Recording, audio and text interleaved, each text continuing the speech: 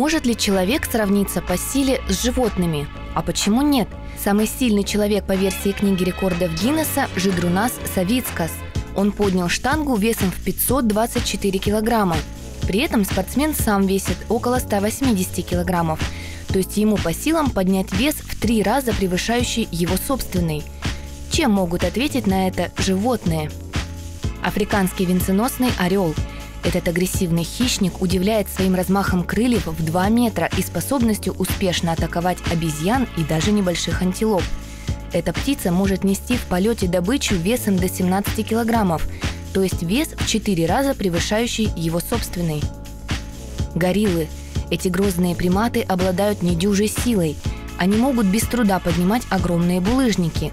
Гориллы поднимают вес почти в 10 раз больше собственного – Муравьи – одни из самых сильных животных на планете.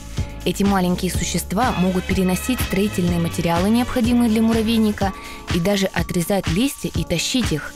Максимальный вес, который может осилить муравей, в 10-20 раз превышает вес самого насекомого, а муравей-листорез в 50 раз. Куда уж круче.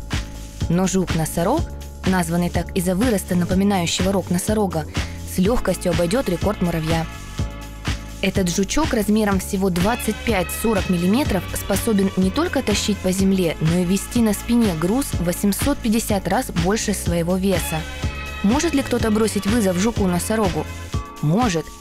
Навозный жук размером от 3 мм до 7 см способен осилить вес в 1140 раз больше собственного. Рекорд? А вот и нет.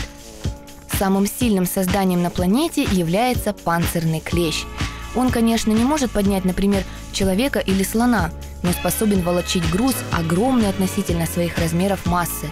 Переведя на язык цифр, ему по силам ноша, превосходящая его собственный вес в 1180 раз. Жизнь прекрасна и удивительна.